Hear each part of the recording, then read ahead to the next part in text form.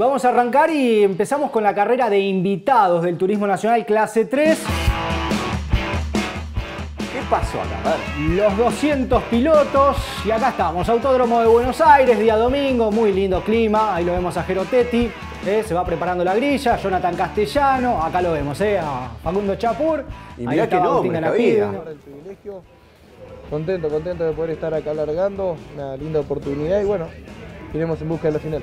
Y Manu, ¿cómo estamos? Todo tranquilo, esperando que, que se largue la carrera. Eh, muy confiado por, por el potencial de los autos, así que bueno, esperemos que, que salga todo bien. Vamos a ver cómo se da la largada, la largada va a ser fundamental. Auto muy parejo y, y va a ser una linda carrera para, para correr. Ahí lo tenés. Mirá. El casi periodista Franco Vivian. Estamos bien, creo que tenemos una carrera inteligente porque obviamente que sirven mucho los puntos para Jerónimo y la posición. Estamos en un lugar expectante, así que bueno, va a ser importante una buena largada y después, en función del ritmo, poder presionar. Bueno, y ahí estaba, ¿eh? los protagonistas hablando, lo veíamos ahí a Franco Vivian, a nuestro compañero ¿eh? Sí. en la escudería Carburando. Eh, y ahí vemos la largada, ¿eh? Matías Canapino largando adelante, atrás Rodrigo Lugón, ¿eh? de gran trabajo todo el fin de semana con Ever Franetovic. Y más atrás, en el tercer lugar, hasta ese momento estaba Agustín Canapino, ¿eh? Claro. que estaba haciendo su segunda carrera en el Turismo Nacional Clase 3. Claro, y todos teníamos la duda de qué podía pasar en la curva 1, en el 8, siempre se Sí. puede producir un embudo, pero se portaron bien los invitados, cuidaron bastante. Sí. Después los titulares fue otra historia. Sí, creo que el más perjudicado con el aceite, ¿no? Ahí de la curva de Reutemann, me fui muy afuera hasta el circuito 9. Complicado, sí, Franquito. complicado Franco en la largada ahí en las primeras vueltas y acá complicado Agustín pasó? Canapino que hacía abandono. Me chocó uno y me rompió todo el auto. Azar, ¿verdad? Exactamente, Diego Azar que después le pidió disculpas, pisó aceite. Azar. El problema del fin de semana fue el aceite que había en pista. Claro, Eh, muchos autos, ¿no? Muchos autos, algunas roturas y obviamente ocasionaba que caía el aceite y los pilotos que venían atrás eh, lo terminen pisando. Acá vemos este, a Juan Cruz Benvenuti buscándolo ahí a Mariano Werner. Acá estaba Diego Ciantini con Quijada, eh, Quijada en el auto de Merlo. Bueno, una carrera entretenida eh, de los titulares. Eh, y acá terminaba complicado Facundo de la Mota. Ahí lo vemos en el Citroën. Acá vemos el auto de Posner, conducido por Norberto Fontana también con complicaciones. Y este es Benvenuti que abandonaba. Claro. Ha tenido un toque y se rompió algo de la suspensión. Está abandonado ya auto. La explicación de Mauro García, el director del equipo de Leonel Pernía, ¿no? Exactamente, ahí estaba la explicación de Mauro. Eh, era abandono para justamente el auto líder del campeonato. Claro. Acá vemos a Mariano Werner, que lo iba buscando a Rodrigo Lugón. Recordemos que Rodrigo Lugón corre en el equipo de Werner en el turismo, en el TC En el Pista, TC claro, se conocen muy bien. Así que bueno, ahí estaba, ¿eh? el duelo de compañeros de equipos. Y Warner, Eh, que ya tiene mucha experiencia, además en el turismo nacional. Claro. Fue campeón de la categoría. Además sigue probando autos de turismo nacional Claro. cada tanto. Pero bueno, lo aguantó muy bien Rodrigo Lugón. Se defendió muy bien de los en- ataques de Werner. En, en el correr de la vuelta, pasarlo al auto de Chapur, pasar al, al auto de, de Ursera. Eh, me falta un poquito con, con Lugón, que lo tuve ahí, pero, pero defendió bien la posición. Con el relanzamiento que lo fui a buscar a Mati, eh, cuando me iba para atrás, Mariano me estaba haciendo una tijera y dije, bueno, me tengo que defender sí o sí, no me puede ganar el jefe. Y bueno, por suerte pudimos aguantar.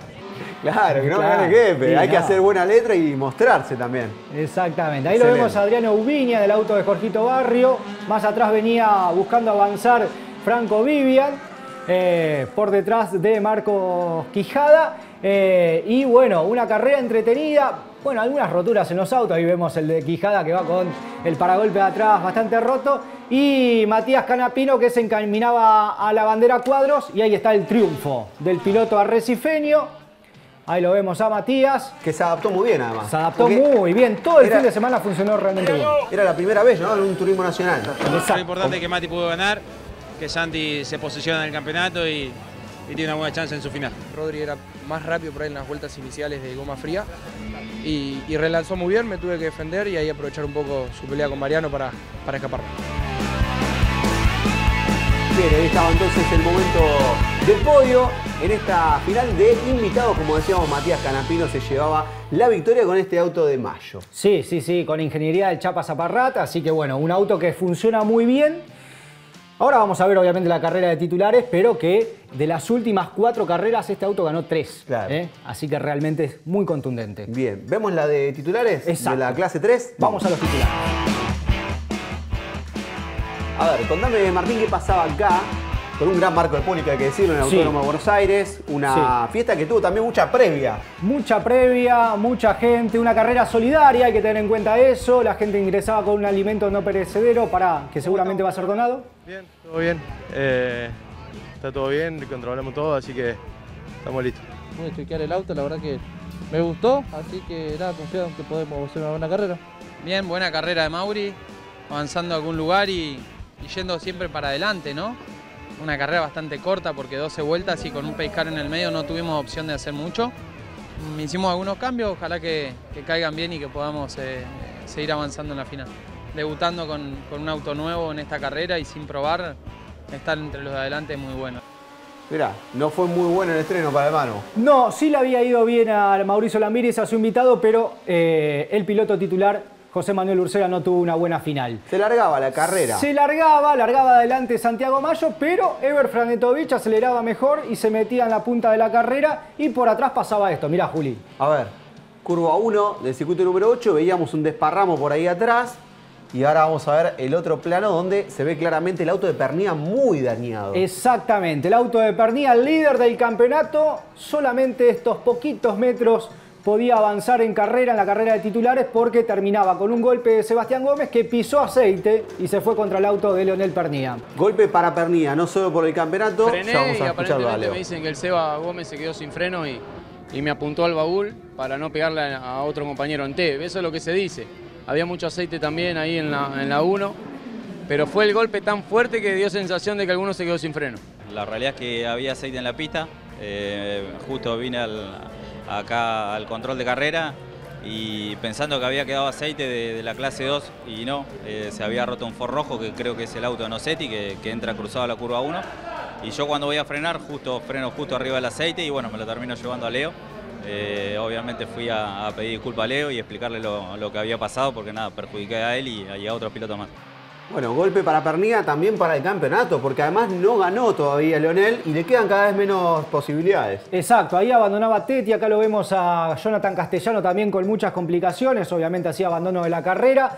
Tres grandes protagonistas del turismo nacional que se quedaban afuera muy rápido y como bien decís, justamente Leonel Pernía es el líder del campeonato, mantuvo esa posición, ahora en un ratito vamos a ver la tabla, pero igualmente eh, le acortaron la diferencia, ¿no? Eh, si bien después Mayo, que ahora en un ratito, perdón, este Barrio en un ratito lo vamos a ver, abandonó, que es su inmediato perseguidor, bueno, eh, igualmente es una carrera muy este, para el olvido para Leonel Pernía. Bueno, acá vemos un poco más la carrera, recuperaba la punta Santiago Mayo en esta maniobra, Linda. después del relanzamiento. Sí, bien. Por afuera y para que después le quede la cuerda a la curva 2. Tengamos en cuenta que la contundencia del auto de Mayo, bueno, este, Franetovich la aguantó hasta donde pudo, porque eh, cuando Mayo se le puso a la par, no lo pudo resistir más y de esa manera terminó perdiendo la punta de la carrera eh, Ever. Más allá de eso, bueno, Santiago Mayo comenzaba a escaparse y por detrás pasaban estas cosas. ¿eh? Ahí lo vemos a este, el Virtus de Javier Merlo peleando la posición ahí con eh, Barrio que buscaba avanzar en el clasificador y por atrás de Franetovich se empezaba a dar este duelo entre Facundo Chapur y Julián Santero por un, lugar en el podio, ¿no? Sí. Eh, tengamos en cuenta que Santero comenzó tarde en el campeonato, se sumó en el Cabalén y por ahí no está peleando por puntos importantes, pero sí lo está haciendo Facundo Chapur. Después Claro. lo vamos a escuchar porque no le gustó nada por ahí cómo fue a buscarlo Julián Santero. Pero bueno, ahí lo vemos. Santero pasa a tomar el tercer lugar. Después Chapur se iba a recuperar y le iba a terminar ganando de nuevamente la posición para quedar por detrás de Ever Franetovich. Una carrera linda, interesante, entretenida de turismo nacional Eh, y acá vemos el abandono de José Manuel Ursera, otro de los protagonistas del campeonato. Sí, como decía anteriormente, había tenido una buena carrera de invitados, Lambiris, y se iba a quedar con las manos vacías el Man Ursera. Seguía este duelo entre Chapur, allí Julián Santero en la horquilla. Un Chapur y Santero que también se habían encontrado el año pasado, aquí en el Autódromo Buenos Aires, con una carrera que bajo la lluvia también había tenido una gran serie. Y bueno, acá en el circuito 8, otra vez peleando por el puesto. Y también habían tenido un episodio hace poquito en San Nicolás, donde también Santero lo termina tocando un poquito a el auto de Chapur y bueno, no le gustó nada al Facu. Ahí abandonaba también Jorgito Barrio y se iba a la victoria Santiago Mayo, que la verdad tuvieron un fin de semana perfecto ganando los entrenamientos. Santi Mayo hizo la, hizo la pole en la clasificación y obviamente eh, se quedaron con las dos finales, así que un fin de semana redondo para Santiago Mayo y el equipo eh, de los hermanos Mayo y los hermanos Canapino en este caso. Claro, qué cosa, ¿no? Los dos hermanos que se juntan y son exitosos ambos para el turismo nacional. Eh, tenemos palabras de los protagonistas, ¿verdad? Los escuchamos. Ante el festejo. Nos dimos con, de todo y eh, que nada, los dos queríamos ganar, por ahí creo que Juli se excede porque yo vengo peleando un campeonato y Julián no viene peleando un campeonato, estamos en una etapa de definición y creo que viene un poco excedido, ya me perjudicó en, en San Nicolás y hoy estuvo cerca, me chocó dos veces atrás, me cruzó todo. Tiene que entender que nosotros venimos peleando el campeonato, por más de que yo esté retrasado, yo vengo peleando mi campeonato y él viene peleando una simple carrera, entonces creo que si bien él quería entrar en el podio y se dio a su sponsor, tiene que respetar a lo que por ahí venimos peleando en campeonato, que venimos peleando otras cosas diferente a una sola carrera. defendiste bien de Chapur, de Santero en algún momento, cuidaste bien el auto y, pudiste terminar bien la carrera. Sí, la verdad que sí, con Chapur la vuelta que lo, que lo tuve atrás, que fueron varias, lo teníamos más o menos controlado hasta que bueno, cometo un pequeño error en la confitería, ahí se me, se me acercaron y bueno, después ya eh, me tuve que empezar a cuidar de los frenajes este, y bueno, después sobre el final ellos dos se pelearon atrás mío y pude hacer una diferencia para para la última vuelta estar un poco más tranquilo y bueno, asegurar el segundo puesto. Tenía un gran ritmo, sabía que, teníamos el auto, Mati me había transmitido lo que había sentido en la carrera 1, así que estaba tranquilo, estaba tranquilo que, tenía que hacer mi carrera, cuidar el auto, tratar de llegar al final, así que contento. Eh, de a poquito nos vamos prendiendo más arriba del campeonato, empezamos a cambiar el objetivo, a mitad de año estábamos totalmente eh, atrás y sin chance, hoy nos encontramos con, con otra nueva chance y, un distinto objetivo, así que prepararemos esta última parte del año de otra manera y, y trataremos de seguir por este camino.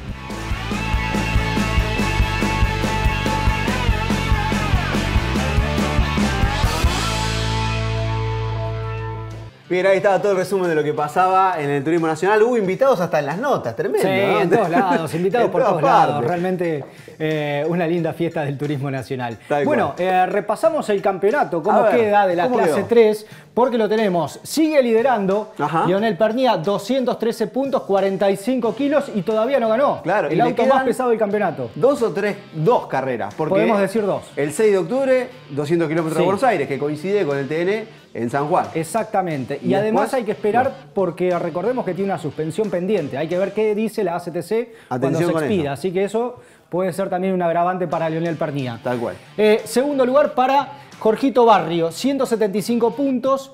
40 kilos y ya ganó. Claro. Eh, ya ganó Jorgito Barrio. Si bien no pudo terminar la carrera final, eh, se mantiene en el segundo lugar. El que sí avanzó fue Alfonso Domenech, que tiene la misma cantidad de puntos que Barrio, obviamente figura tercero porque todavía no ganó. 35 kilos. Y después aparece Jerónimo Tetti, Joel Gassman, Facundo Chapur, Andy Jacos, Santi Mayo, Germán Todino y José Manuel Ursera, los 10 de adelante.